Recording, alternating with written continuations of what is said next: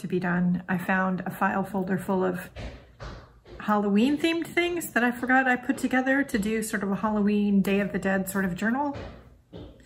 Um, and I remembered that I also wanted to try bleaching some black paper. So we're gonna try that now. I wish, I, I hear that you can do it with hydrogen peroxide and not actually with bleach. I don't have any hydrogen peroxide. So I have a small bottle, spray bottle. I'm gonna fill with water. Um, not quite full. This has bleach in it. And I'm just gonna put a few drops. I wanna use diluted bleach even if it takes a while to bleach the paper. So I'm gonna put, I don't know, I'm gonna try like 10 drops. Oh heck, I'm just gonna put a dropper full. and um, and we'll put the lid on because the bleach smells. And for those that don't know, I'm asthmatic. All right, I'm gonna start with a piece of cardstock, AKA a black file folder. Oh, and this has some plastic bits in it I need to throw away from the last project I used this cookie sheet for. Okay, some of these cookie sheets have um, paint and ink and whatever on them from the last time I put something in here to dry that I was dyeing or whatever. That's okay if it transfers, I don't care. So I'm going to just, hold on. I'm gonna just spray. And this is a piece of uh, this file folder, so I'm gonna spray like all the sides. I'm going to set it aside to dry. I'm going to do all these pieces of paper this way really quick before my meeting. And it's going to work, I can tell you already, because this one's already starting to lift.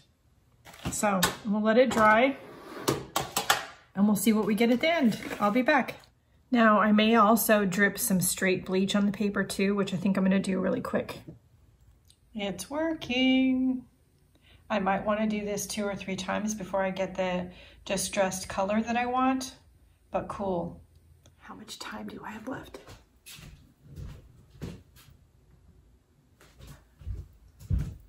Three minutes. Yeah, yeah, yeah.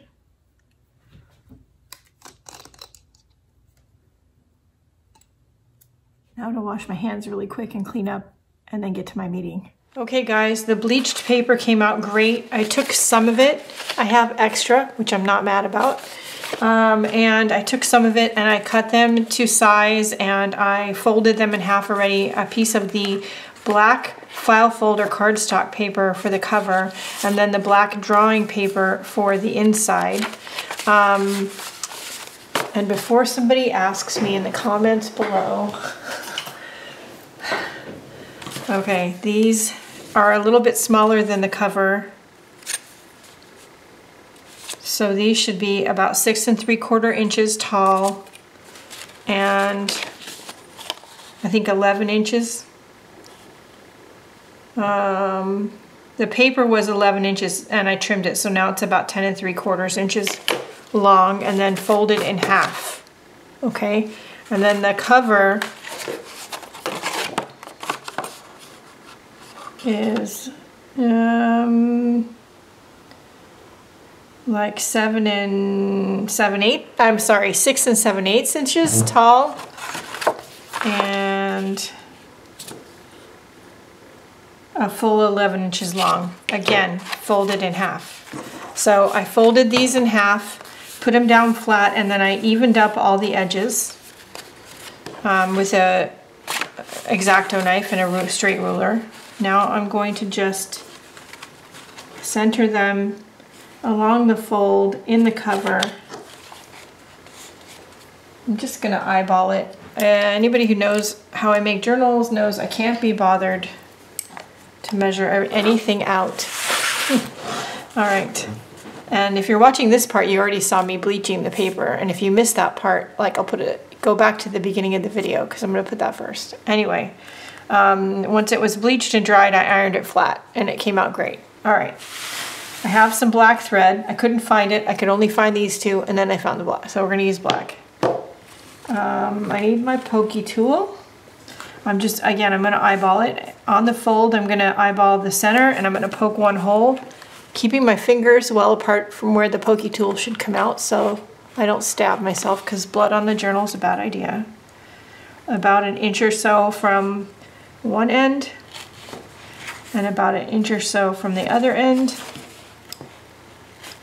Ah, and now we've got our three holes. We're gonna just, just do simple pamphlet stitch. I can't be bothered learning any fancy stitches. I know, I know, I'm lazy, I'm aware. You don't have to tell me. Now I just have to find the end of the thread. There we go. This is a waxed linen cord made for bookbinding. Are there scissors in this kit? Yes. So this is a little kit of tools. I keep that has all my bookbinding tools in it and usually one or two spools of thread. This is from the people at Zutter and I have had it a long time when I got my very first Bind It All, um, at least a decade ago, but I think it's been longer than that, and I still own a Zutter, but the tool bag is great. Anyway, all right, got a needle, we'll thread it. It's a large-eyed bookbinding needle. We'll go in the middle hole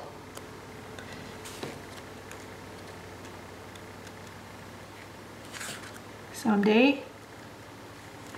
Okay, there we go. Pull the string, but leave a couple inches on the inside. Then pick one of the outer holes and go in from the outside. Pull. Okay, then go all the way down to the other end. one last hole you haven't gone in yet. Okay, and then back up the center hole.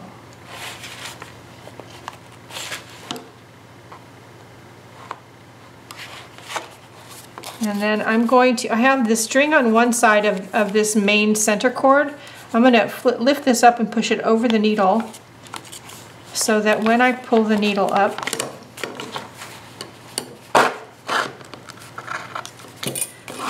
I have the two ends on either side of this cord.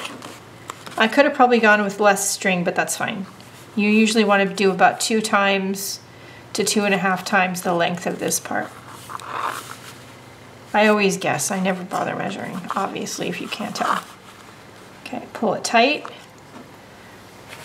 And then tri don't trim it too close, leave about an inch or so. And there you go. Oops, one bound journal ready for some skull stuff. All right, that's the next part. Let's get to it. Journal started out as something I wanted to do because when I was sorting my collage images, I found all these things that are black and white or shades of gray. So we are going to primarily focus on using these in the journal. I have some ideas and thoughts already and doing some, you know, journaling. I did think maybe these might fit in here somewhere. And then this big image. The journal is much smaller than the image, but we could make it work. So I'm going to do this in a few episodes and we're going to fast forward through the process. I'm going to decorate something on the cover now and then the next pages will be in the next videos. Let's get to it.